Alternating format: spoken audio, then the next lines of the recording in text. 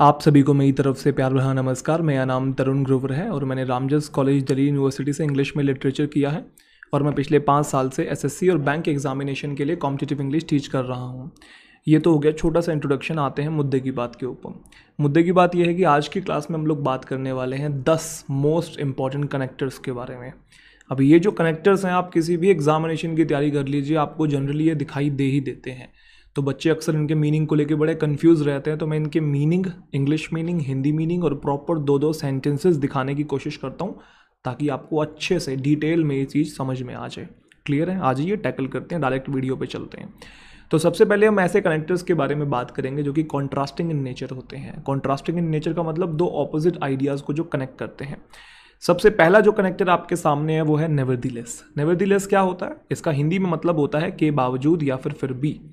और इंग्लिश में मतलब होता है इन स्पाइट ऑफ़ दैट या फिर आप कह लीजिए डेस्पाइट क्या कह सकते हैं? डेस्पाइट डेस्पाइट के बाद हम लोग ऑफ़ का यूज़ नहीं करते, आपने सुना होगा। डेस्पाइट और इन स्पाइट ऑफ़ एक ही चीज़ होती है।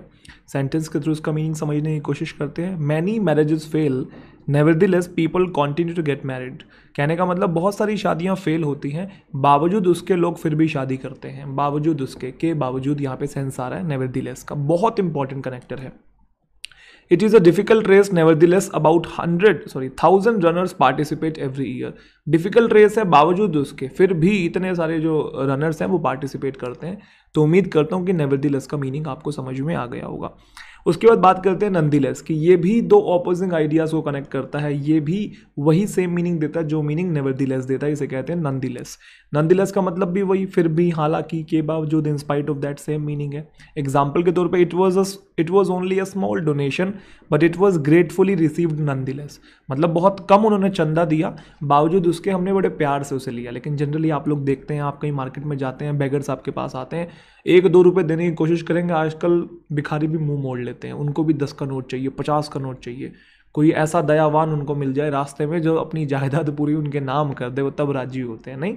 लेकिन यहाँ पे बोला जा रहा है कि बहुत कम चंदा दिया, बावजूद उसके, उसको उसको बहुत वेलकम तरीके से रिसीव किया गया वार्म तरीके से रिसीव किया गया। There was still a long way to go nonetheless some progress had been made मतलब अभी बहुत दूर तक जाना है, मंजिल अभी बहुत दूर है, बावजूद उसके कुछ प्रोग्रेस हमने कर ली है। तो दोनों का मीनिंग सेम है, ध्यान रखिएगा। ऐसे ही एक वर्ड और होता है ऑल दी सेम इसका मतलब भी यही होता है. All the same nonetheless nevertheless ये तीनों सेम है. इसका मतलब भी यही के बावजूद. क्या होता है? इसके बावजूद भी in spite of that example के तौर पर she knew they had meant it kindly but it had hurt all the same कहने का मतलब वो लड़की जानती थी कि उन्होंने जो बात कही है, वो विनम्रता पूर्वक कही है, लेकिन वो बहुत ज़्यादा हर्ट हुई उसके बावजूद भी उनकी बात. मैं दोबारा रिपीट करता हूँ, वो लड़की जानती थी कि उन्होंने जो बात कही है, वो बहुत विनम्रतापूर्वक कही है, लेकिन बावजूद उसके but it had hurt all the same बावजूद उसके, वो हर्ट हुई है। मतलब विनम्रता पूर्वक कहने के बावजूद भी वो बात हमको हर्ट हुई है। तो वही बावजूद वाला सेंस आ रहा है ना, ये टर्म बच्चों ने सुना नहीं होता, बड़ा यूनिक टर्म है, लेकिन दी मोस्ट इंपॉर्टेंट है। It rained every day of our holiday but we had a good time all the same मतलब जब जब हम, जिस जिस दिन हम, हमारी छुट्टी थी मतलब जब हम वेकेशन पे गए तो प्रत्येक दिन, जितनी भी छुट्टियों के लिए हम गए थे, प्रत्येक दिन वर्षा हुई है।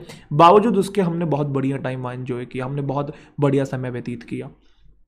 तो मैं ये उम्मीद करता हूँ कि तीनों का मीनिंग आपको समझ में आ गया। Nevertheless nonetheless all the same अब हम ऐसे कनेक्टर्स के बारे में बात करने वाले हैं जो सिमिलैरिटी को शो करते हैं।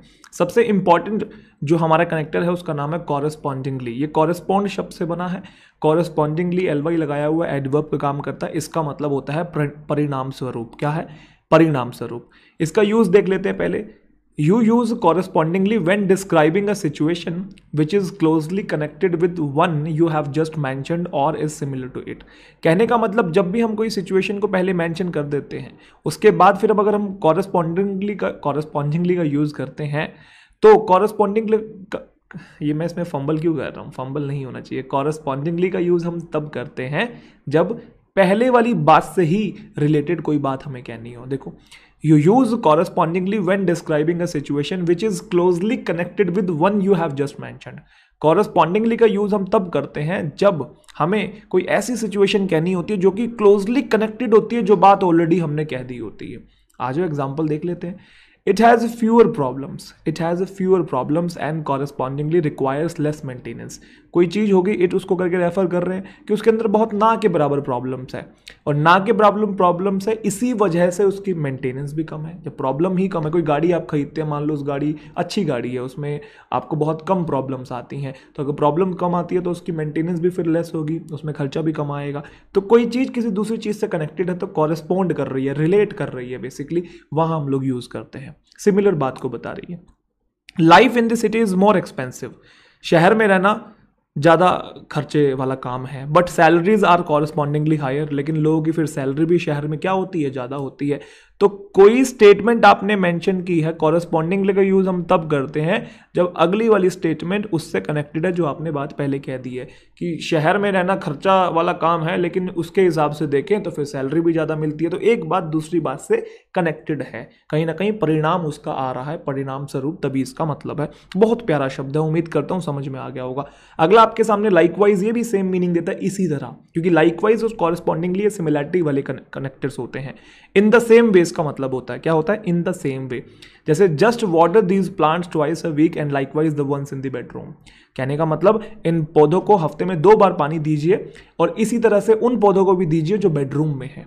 इसी तरीके से। समझ में आ रहा meaning the colour of the lake has change जो लेक का कलर है, वो चेंज हो गया and the colour of surrounding area likewise तो इसी तरीके से जैसे लेक का कलर चेंज हुआ है तो इसी तरीके से आसपास का जो एरिया का कलर है, वो भी चेंज हो गया है। तो इसी तरीके से लाइकवाइज ये भी सिमिलर बातों को कनेक्ट करने के लिए यूज़ होता है।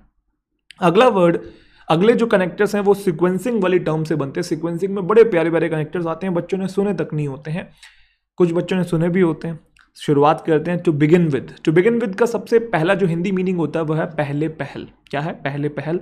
Use for introducing the first thing in a list of things you are going to say मतलब अगर आप बहुत सारी चीज़ें कहना चाहते हैं, उसमें से सबसे पहली जो चीज़ आप इंट्रोड्यूस करना चाहते हैं तो उस चीज़ को इंट्रोड्यूस करने से पहले हम यूज़ कर सकते हैं टू बिगिन विद कि सबसे पहले मैं आपको ये कहना चाहता हूँ, है ना? बहुत सारी बातें कहनी लेकिन सबसे पहले ये कहना चाहता हूँ to begin with I would like to say this thing that thing I hope my point got clear there were six of us to begin with then two people left मतलब जब हमने शुरुआत की थी तो छः थे, लेकिन फिर दो लोगों ने छोड़ दिया। तो शुरुआत की थी, पहले पहल दो थे, पहले पहल छः थे, लेकिन फिर दो लोगों ने छोड़ दिया। There were six of us to begin with शुरुआत में छः थे, लेकिन फिर दो लोगों ने छोड़ दिया।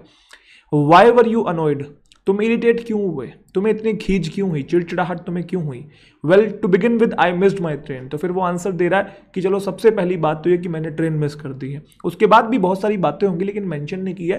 वो बताना चाह रहा है कि सबसे पहली बात तो कि मैंने ट्रेन अपनी मिस कर दी है। उसके बाद और भी बात बताई होगी कॉन्वर्सेशन आगे चली होगी, लेकिन यहाँ पे आगे हमने कॉन्वर्सेशन को कंटिन्यू नहीं किया, यही सेंटेंस खत्म कर दिया ताकि आपको बस मीनिंग ही समझ में आ जाए। टू बिगिन विद का मतलब फर्स्टली अगर नॉर्मल भाषा में कहूँ तो कहते हैं ना फ़र्स्ट ऑफ़ ऑल फर्स्टली वो शब्द यूज़ करते हैं, वही है टू बिगिन विद अगला है फॉर वन थिंग ये बड़ा यूनिक है, बड़ा प्यारा कनेक्टर है ये भी। इसका मतलब भी यही है, पहली बात तो ये, जो तू टिकटॉक टिकटॉक चलती है है ना? माना ये सारी तेरी हाई हील्स की गलती। ऐसा कर नहीं करना है ऐसा। फॉर वन थिंग का मतलब है, पहली बात यह है कि पहली बात यह है कि जैसे एग्ज़ाम्पल के तौर पर as one example or reason out of several important ones मतलब किसी ने आपसे कोई सवाल पूछा कि ये चीज़ क्यों हुई? और आप बहुत सारे कारण बताना चाहते हैं, और सबसे इंपॉर्टेंट जो कारण आप बताना चाहते हैं, उस कारण से पहले आप यूज़ करते हैं फॉर वन थिंग जैसे ये पहले पहल से रिलेटेड ही है उसी तरीके का ही है, क्योंकि ये सीक्वेंस बताने वाले हैं ना सारे। एग्ज़ाम्पल के तौर पे a lot of people do not take the time to read contracts for one thing they are often in a very tiny print कहने का मतलब बहुत सारे लोग जो होते हैं कॉन्ट्रैक्ट्स होते हैं एग्रीमेंट्स होते हैं, उनको पढ़ते ही नहीं है। क्यों नहीं पढ़ते हैं? इसकी बहुत सारे रीज़न है। लेकिन सबसे इंपॉर्टेंट सबसे पहला रीज़न ये है कि वो बहुत छोटे छोटे अक्षरों में प्रिंट हुआ होता है। और भी बहुत सारे हैं सेवरल इंपॉर्टेंट पॉइंट्स हैं, लेकिन वो सबसे इंपॉर्टेंट पॉइंट को बता रहा है, सबसे इंपॉर्टेंट रीज़न को बता रहा है। तो इंपॉर्टेंट रीज़न को बताने के लिए फॉर वन थिंग का हम लोग यूज़ करते हैं कि पहली बात, और सबसे इंपॉर्टेंट ठीक है? Why don't you get a car तुम गाड़ी क्यों नहीं खरीदते? Well for one thing I can not drive तो बहुत सारे रीज़न है, गाड़ी ना खरीदने के, हो सकता है पैसा ना हो हो सकता है कि पापा ना दिला रहे हो, लेकिन उसने सबसे इंपॉर्टेंट रीज़न दिया well for the one thing I can not drive सबसे इंपॉर्टेंट चीज़ तो ये कि मैं ड्राइव कर ही नहीं सकता हूँ, सबसे पहली बात तो ये, मैं ड्राइव ही नहीं कर सकता हूँ। और भी बातें होंगी, वो बताई नहीं है, लेकिन आप समझ पा रहे हैं मेरी बात, है ना? अगला वर्ड आपके सामने इसी से रिलेटेड है, बड़ा प्यारा, ये दोनों साथ में यूज़ होते हैं फॉर वन थिंग के साथ हम लोग यूज़ करते हैं एंड अनदर इज़ जैसे फॉर वन थिंग का यूज़ करते हैं, पहली बात बताने के लिए, और दूसरी बात बताने के लिए एंड अनदर इज़ का हम लोग यूज़ करते हैं। For one thing and for another one reason is and another reason is ये सिंपली मीनिंग है। जैसे you ought to stop smoking आपको स्मोक करना, धूम्रपान करना बंद कर देना चाहिए। ऑट टू का मतलब बंद कर देना चाहिए। You know for one thing you are damaging your health and for another you can not afford it मतलब सबसे इंपॉर्टेंट रीजन तो ये है कि आपको क्यों बंद करना चाहिए कि आप अपनी हेल्थ को नुकसान पहुँचा रहे हैं। अरे अरे अरे। अच्छा कोई बात नहीं, कोई बात नहीं। कॉल को बाद में अटेंड कर लेंगे, आ जाइए बस। अब आप रिंगटोन देख के थोड़ा सा अचंभित मत होइएगा। ये मेरे भाई के पास फ़ोन था कुछ दिन। और उसने सेट करके दी थी तो मुझे अच्छा लगा था ये रिंगटोन तो वैसे ही लगा लिया, घर में पड़े हुए हैं कुछ। मम्मी पापा का नंबर इस इस रिंगटोन से सेव कर रखा है तो पता लग जाता है कुछ करीबी का कॉल आ रहा है। तो बाकी सबकी जो टोन है, वो वन प्लस का फ़ोन है तो वही टोन है रिंगटोन है, लेकिन मम्मी पापा का इसी ना, इसी रिंगटोन से सेव कर रखा है। खैर, मम्मी अभी बुला रही है, खाना खाया नहीं है, मैंने रिकॉर्ड कर रहा हूँ, मैं चला जाऊँगा। तो ये तो होगी कुछ ट्रिवियल तुच्छ बातें इसको हम साइड में रख देते हैं। या तो रैंडमली बीच में आ गया, है ना? क्वेश्चन पे फोकस करते हैं, हम क्या बात कर रहे हैं।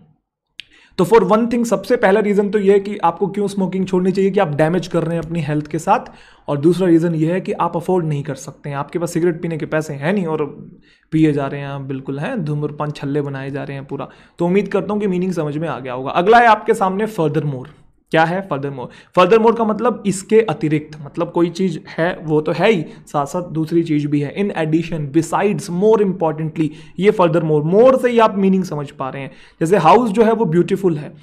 Furthermore it is in a great location एक तो ब्यूटीफुल है, और तो और वो बढ़िया लोकेशन में भी है। तो मतलब कोई बात ऐड करनी है, और इंपॉर्टेंट बात ऐड करके बतानी है एडिशन देना है तो फर्दर मोर का यूज़ करते हैं। वो हमेशा टाइम पे आती है फर्दर मोर उसका जो वर्क है, वो उसमें हमेशा बढ़िया परफॉर्म करती है। एक्सीलेंट है अपने काम को लेके। तो इन्फॉर्मेशन को ऐड कर रहे हैं। फर्दर मोर ध्यान रखिएगा अगला है मोर ओवर बड़ा प्यारा है ये भी सेम मीनिंग देता है, इसके अलावा, है ना, इसके अतिरिक्त use to add information also and more importantly ये मीनिंग होता है whole report is badly written बड़ी गंदी तरीके से रिपोर्ट लिखी गई है, और तो और इसमें गलतियाँ भी बहुत है इनएक्यूरेट है, और तो और, इसके अलावा, इसके अतिरिक्त it was a good car and moreover the price was quite reasonable गाड़ी बहुत अच्छी थी, और तो और प्राइस भी बहुत कम था, उसका रीजनेबल था तो क्या लोगे भाई, बच्चे की जान लोगे एक्स्ट्रा इन्फॉर्मेशन ऐड कर रहा है, ठीक है सर अगला है इंपॉर्टेंस बताने वाले कनेक्टर और लास्ट हमारा कनेक्टर है और जो वर्ड आपके सामने प्राइमरली क्या है?